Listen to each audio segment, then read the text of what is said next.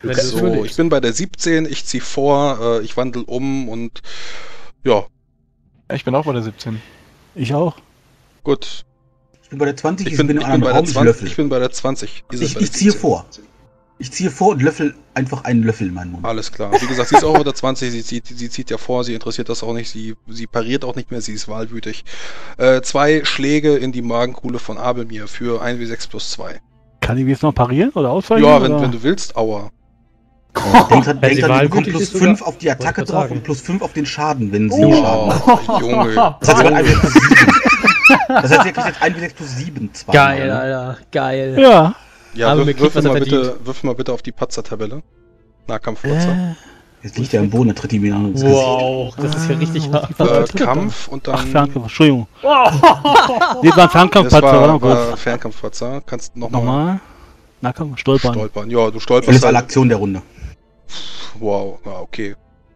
Äh, wie, wie gesagt, sie hatte zwei Sechser geworfen, äh, 6 plus 2 sind 8 und nochmal 8. Nein, nein, die bekommt plus 5 auf den Schaden drauf in Wahlwut und plus 5 auf den Ach Attackewurf. so, weil sie jetzt. Ah, Sie kann aber keine Manöver mehr ansagen. Das heißt, das heißt, die offensiv umwandeln ist möglich, aber sie kann keinen zum Beispiel Doppelschlag oder so ansagen. wie, Aber wie Aber sie bekommt automatisch plus 5 auf den Attackewert drauf und plus 5 auf den Schaden. also 6 plus 5 sind 11 plus nochmal 2 durch ihre KK sind. 13. 2 mal 13 TP. Wie hoch, wie hoch ist seine Konstitution? 13. Äh, es muss übersteigen, äh, aber wenn du jetzt den Patzer geworfen du wirst jetzt einfach, ich, ich bestimme jetzt, dass du zu Boden fällst. Gut. Ähm, die, Hälfte, die Hälfte von dem Schaden kriegst du sowieso nochmal als echten. Meine Und Sechster, er, hat jetzt, er hat jetzt wahrscheinlich eine Menge Ausdauerverlust. Das heißt, wenn er nicht gleich Luft holt, ist er gleich K.O. er, er ist jetzt, also du musst, wenn du, wenn du Ausdauerpunkte über K.O. in einer Aktion verlierst, dann bist du sowieso mal weg. Deswegen, äh, er ist, erst beim ersten Schlag ist er direkt äh, knocked out. Nee, er hat wahrscheinlich einen Punkt Rüstungsschutz. Überall oder zwei. Ich bestimme jetzt einfach durch den Patzer, ist er ohnmächtig. Alles klar. Ja, Gut. das war die erste Aktion von ihr. Dann, ähm, Ömer hatte vorgezogen, die 17. Irgendwann sitzt im anderen Raum, er hat gelöffelt. Torgosch, will Torgosch noch mit der 15 was tun? Du musst jetzt handeln. Ich stelle mich vor Ragnar. Also ich okay, schiebe Sehr die- die, beschützen. die Tür hinter mich und stelle mich so davor so. Und grinse wie ein Honigkuchenpferd. Okay, dann hatte der Magier zum Fulminictus angesagt. Ja, Fulminictus Donnerkai, triff und töte wie ein Pfeil. Äh, wenn ich merke, dass er. Nein, ich merke es nicht. Wie meine viele Aktionen braucht er? Zwei. Zwei, alles klar. Dann ist er am Ende der zweiten durch, das heißt, jetzt hat sie Zeit für dich. Äh, wie viel äh, TP macht er? 2w6 plus äh, Sternchen, ne? Stern. Der macht 20 Schaden. Mhm, macht aber keine Wunde. Dementsprechend kriegt sie 20 Schaden und kann weiterkämpfen, als ob nichts wäre. Hat natürlich Nasenbluten und Kopfschmerzen. Ja, aber das kriegt sie alles nicht mit in Wahlwut. Richtig. Gut, äh, noch irgendwas, was ihr diese Runde machen wollt? Jalan hätte noch? Äh, die geht jetzt. Ich kann schon sehen, dass sie gleich auf den Magier losgehen wird, ja? Ich glaube, du hast gerade eine Aktion ausgegeben, um den Magier da rausziehen zu wollen, ne?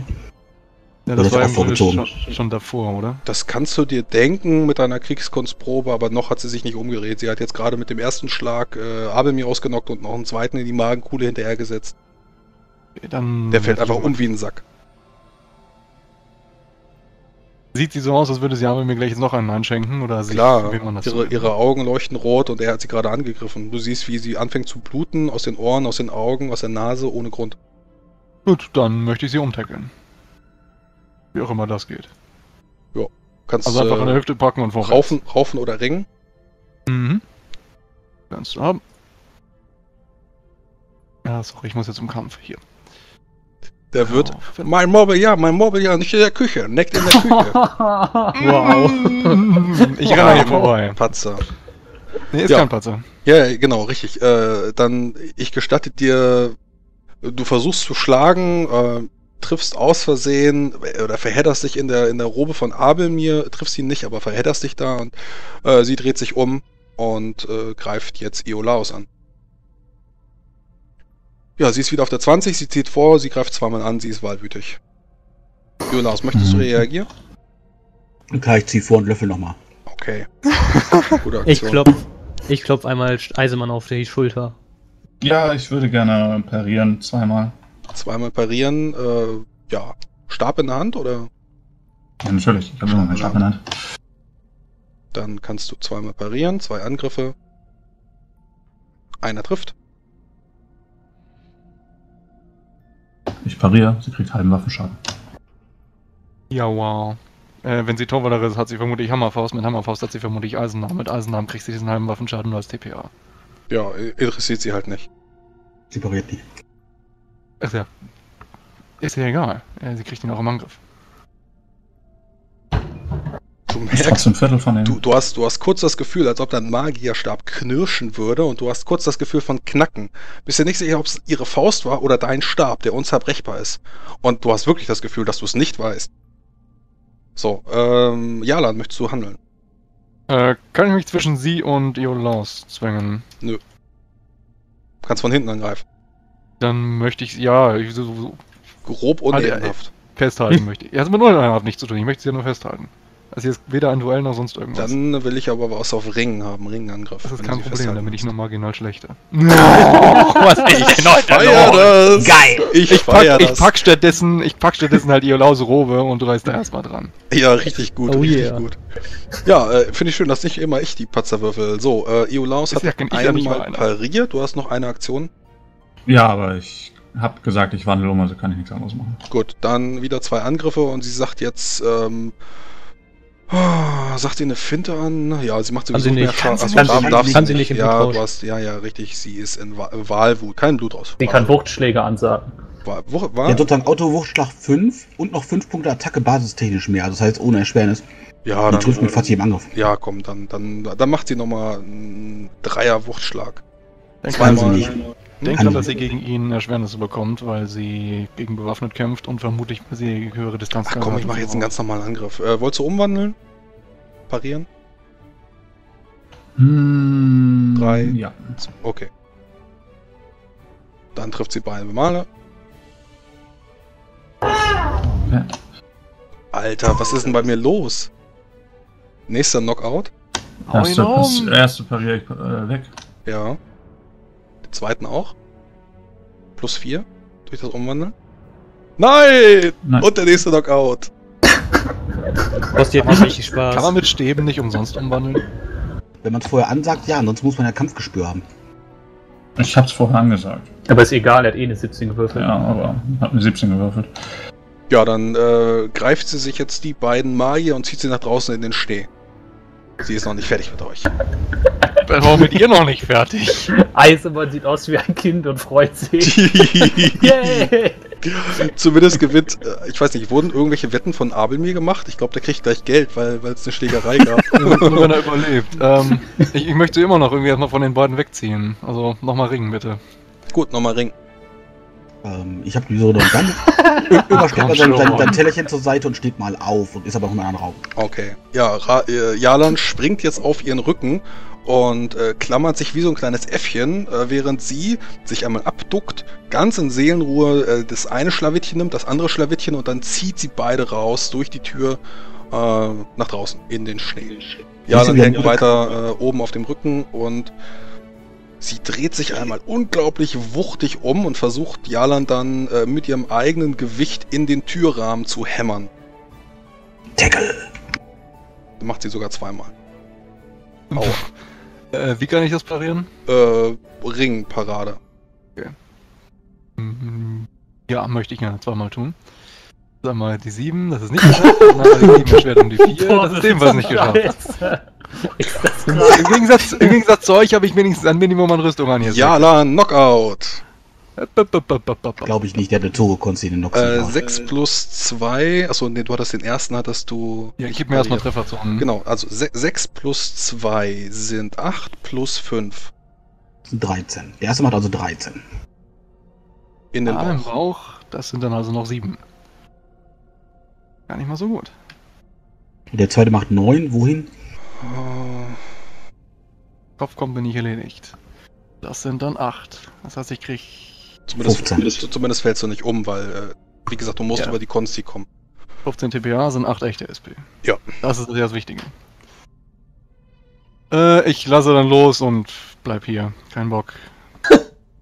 Ja, äh, sie äh, haut den einen Magier äh, auf so einen Schneehügel, steckt den Kopf richtig schön rein und drückt den anderen daneben und äh, tritt noch zweimal äh, hinterher und hat dann wohl ihre Wahlwut genug getan, äh, Es sei denn, die anderen möchten jetzt noch irgendwie reagieren und noch irgendwas tun, aber äh, sie ist zumindest fertig. Die immer steht jetzt in der Küche. Kann ich noch einen Nachschlag haben? Äh, ja, ja, ich habe, ich habe noch ein bisschen, ein bisschen habe ich noch was.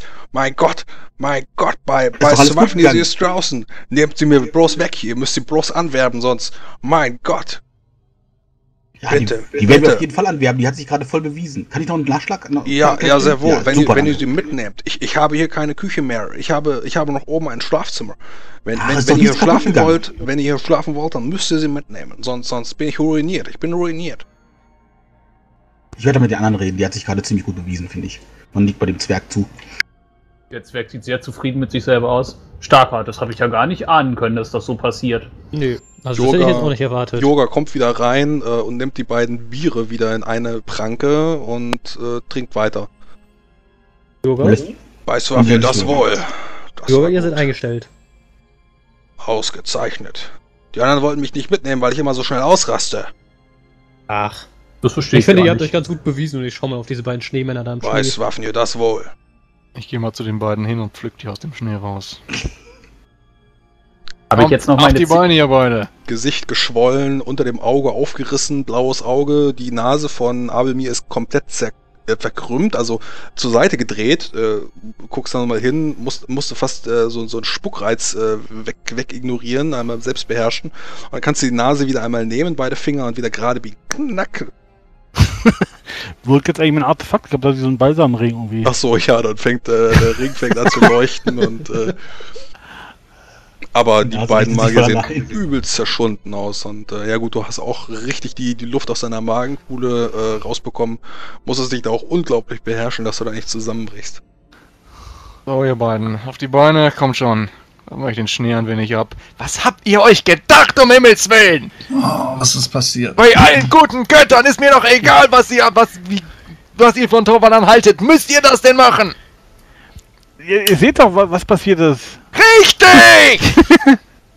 ihr beleidigt die Frau. Die Frau, von der man euch gesagt hat, dass sie, dass sie so eine kurze Zündschnur hat. Und ihr wundert euch noch, dass sie aufs Maul bekommt.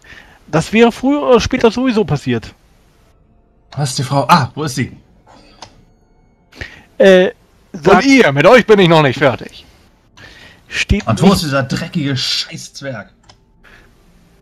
sagt Girodin, steht nicht auf Angriff auf, die, auf einen Adligen eine empfindliche Strafe, selbst im Mittelreich. Ja, meistens Schläge. Möchtet ihr vielleicht dem örtlichen Büttel vortragen, dass ihr die Frau anzuklagen gedenkt? Nun, es wird hier sicherlich ein, ein, ein, ein gewisser äh, Adliger finden, der das Recht durchsetzen kann.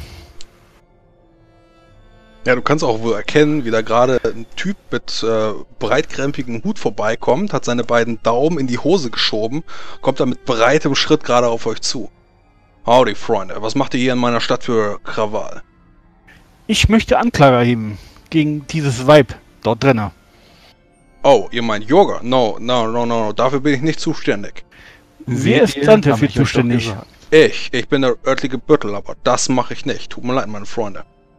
Ihr weigert euch also Pragios Recht durchzusetzen in dieser Stadt?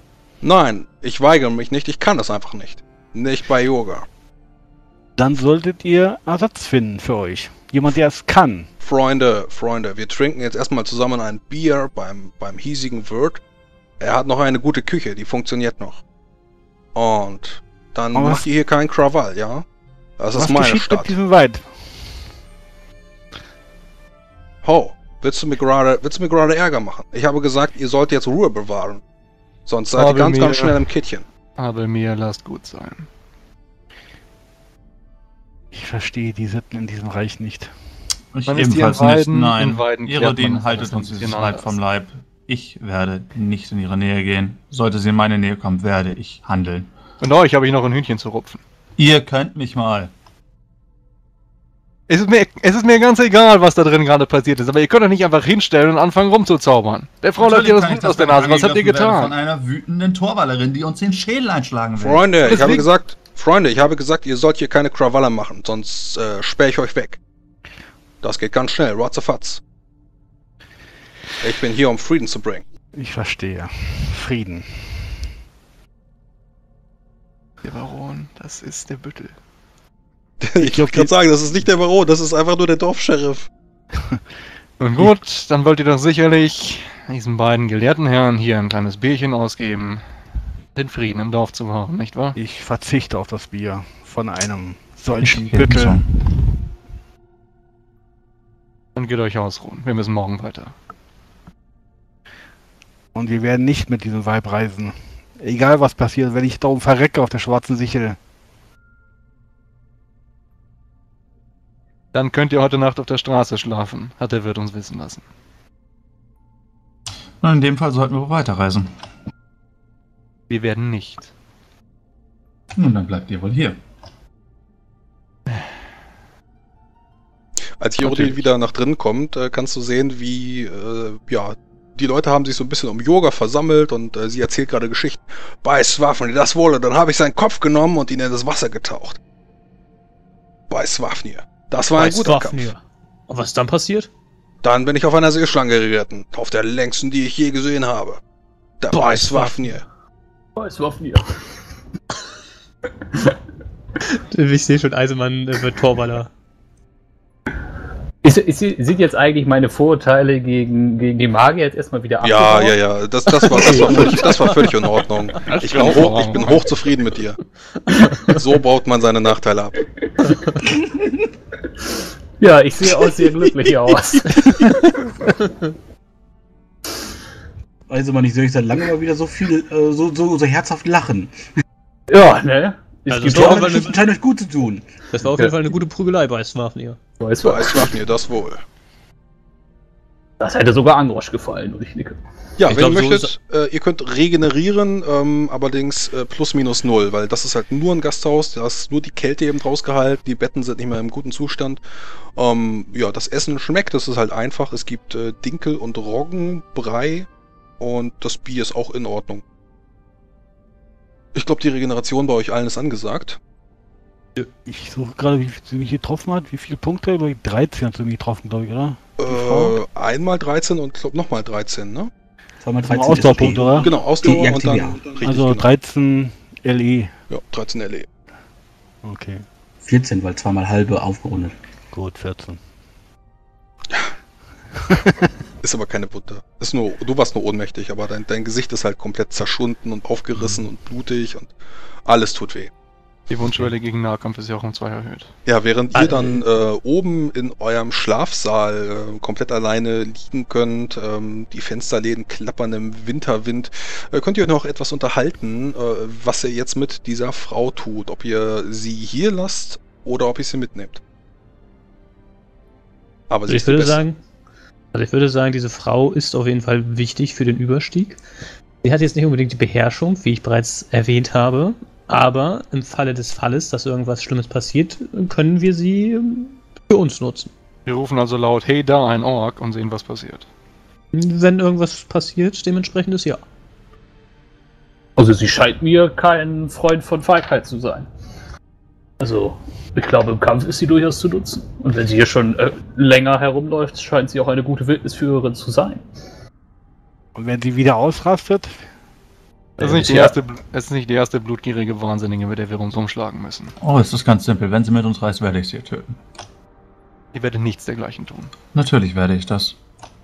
wenn nicht er, dann Ich ich. werde nicht zulassen, dass sie mit uns reist. Und dann wollt ihr da oben erfrieren? Und wer bringt uns dann über die Sichel? Kennt ihr euch vielleicht im Gebirge aus? Lieber erfriere ich da oben, als dass ich im Schlaf verdrosselt werde von einer Verrückten. Ist doch das Gleiche. Macht Tod die Frau tot. den Eindruck auf euch, als würde sie Leute im Ja. Schlaf erdrosseln. Also ich habe das Tut sie. Gefühl, dass die beiden Magier nicht bereit sind, nach Yolgamak mit uns zu reisen, wenn sie solche Frauen bereits aus dem Konzept ziehen.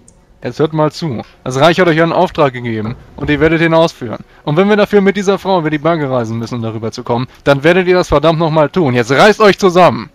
Wir Nein. sind hier nicht im Horasreich, wo ihr euch in eine Loge setzen könnt und jeden Typen von der Straße rausschmeißen, der euch nicht unter die Nase passt. Sehe ich aus für euch wie ein Horasier?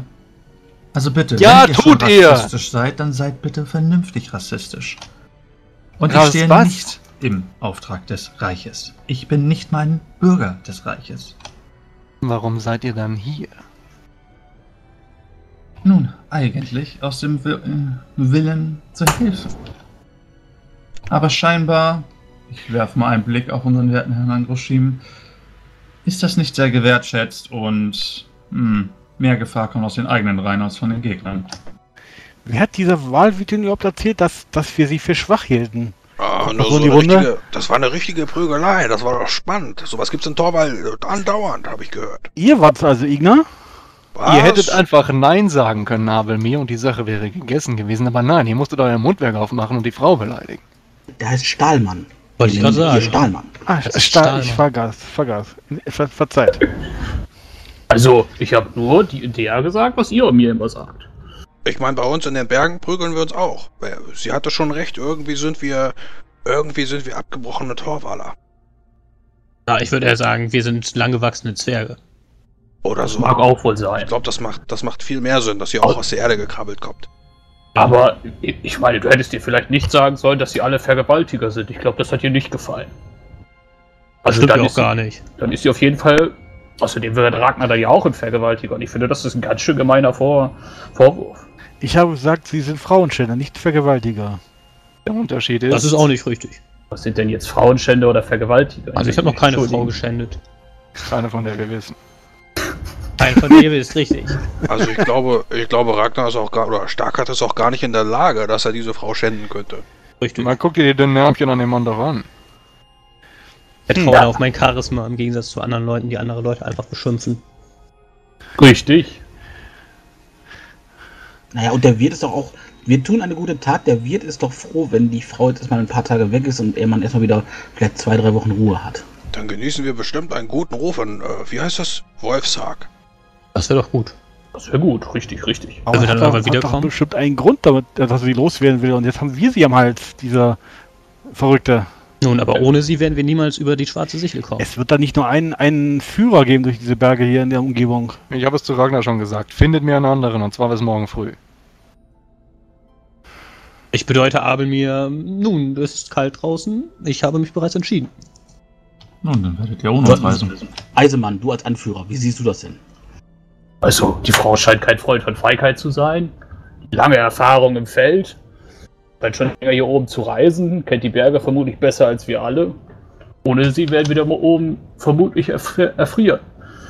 Wenn die Herren Magier es unbedingt vorziehen, jetzt noch rumzulaufen und an jedes Haus zu klopfen und zu gucken, ob irgendwo ein Wildnisführer sich findet, würde ich sie nicht aufhalten. Aber vielleicht solltet ihr schlafen. Ihr sieht nämlich ziemlich angeschlagen aus. Das ist wohl Oh, wahr. tun wir das. Interessant. Habe ich gar nicht bemerkt. Und nein, ich werde nicht mit dir reisen, egal was ihr sagt. Ihr könnt Argumente bringen, so viel ihr wollt. Dann bleibt ihr hier. Das ist keine Argumentationssache und wir stimmen auch über nichts ab. Richtig, ist Eisemann, schön. Eisemann ist der Chef hier. Wir müssen über diese Berge und wir werden über diese Berge kommen. Mit euch oder ohne euch. Sich dem Herrn Jerodin mal zuzustimmen. Hier steht mehr auf dem Spiel als eure Empfindlichkeiten und eure gebrochene Nase. Ihr birgt als für diese Frau. Also wenn ihr sie nochmal Vergewaltiger nennt, wird sie euch vermutlich nochmal auf die Schnauze hauen. Aber wenn ihr da damit aufhört, wird sie euch Ich meine vermutlich nicht auf die das, Schnauze wenn hauen. sie auch gegenüber anderen ausrastet. Wenn wir irgendwelchen Leuten auf diesem Pass begegnen, die uns nicht besonders freundlich gesinnt sind. Nun, der werte Herr von Dunkelstein hat auch schon für euch gebürgt und hat vielleicht aus seinen Fehlern gelernt. Vielleicht ist Also, Bürgen das falsche Ein Wort. Dunkelstein steht zu seinem Namen. Wollt ihr für sie bürgen oder wollt ihr nicht für sie bürgen? Ist eine wahnsinnige Irre. Ich bürge für sie genauso weit, wie ich ihr Blutschluck gebürgt habe. Gar nicht. Und dann glaubt ihr, wir wollen wirklich mit ihr reisen? Es ist mir egal, was ihr wollt. Offensichtlich. Glaubt ihr nicht damit, ihr- dass ihr unsere Mission gefährdet, wenn ihr als solche eine Irre mitnimmt? Wenn sie unsere Mission gefährdet, wird sie aus dem Weg geräumt. Bis dahin nehmen wir sie mit. Aber sie ist, sie ist bestimmt ortskundig und das ist etwas, was man echt. Das, das findet man nicht häufig. Ich werde und- euch daran erinnern. Ich ich glaube auch, dass die Frau eine ganz, ganz große Gefahr dafür stellt. Aber die Frau stellt auch eine ganz, ganz große Chance dar, die wir sonst nicht haben. Noch schneller zu sterben? Und die wäre? Naja, Ortskundigkeit, aber ich kann es gerne nochmal buchstabieren. Dann kann ich nicht, aber. äh, Ja, kann ich habe noch schon mal verstanden. Oh, ihr könnt buchstabieren. Interessant. Ja, das er kann hat ich doch gesagt, nicht. nein, kann er nicht. Das kann ich Also eben das nicht. Lustige. Aber halb so wild. Äh, braucht ihr das für eure Ohrenmagier? Nein. Ich wollte es mal so euren eigenen Mund hören. Ja, ich halte die Frau auch für super gefährlich. Gut. Natürlich ist sie gefährlich. Auf Maraskan war das schon so. Ohne den Ortskundigen wären wir eisenhart verreckt. Jeden Tag zweimal.